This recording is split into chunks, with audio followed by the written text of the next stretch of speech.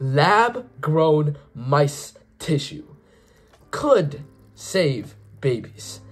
You see, researchers at Vanderbilt University just used 3D imaging technology to analyze mouse tissue.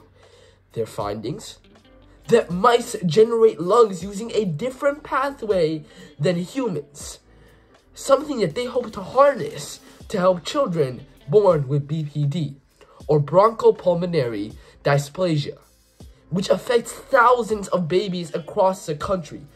Often premature, they're not able to breathe effectively and thus rely on ventilators, creating a risk of future lung problems. And maybe fully harnessing the power of mice can change that. Even though their discovery is fresh, if researchers are able to understand it fully, it could save thousands of infant lives.